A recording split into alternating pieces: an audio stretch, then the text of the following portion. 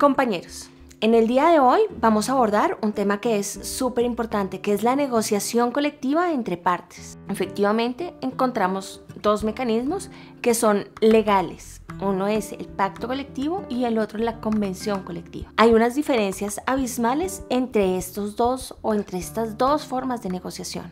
La primera, la convención colectiva surge como un mecanismo legal establecido entre la organización sindical y la empresa. En este mecanismo lo que se está buscando es mejorar las condiciones laborales de los trabajadores sindicalizados inicialmente, mientras el pacto colectivo busca la negociación entre los trabajadores no sindicalizados y la empresa. En este aspecto encontramos que en muchas oportunidades las empresas no llegan a acuerdos con los trabajadores y lo que hacen en realidad es hacer extensivos los beneficios consagrados convencionalmente a todos los trabajadores no sindicalizados.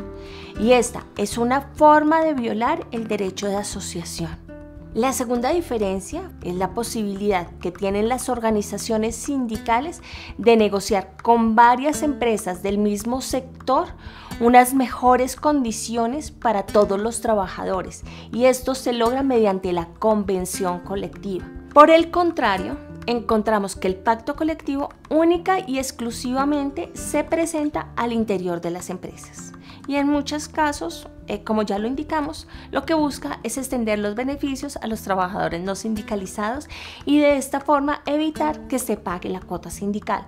Como organizaciones sindicales podemos buscar herramientas para defender el derecho que nos asiste a negociar. Y estas herramientas son, primero, exponer una querella ante el Ministerio del Trabajo.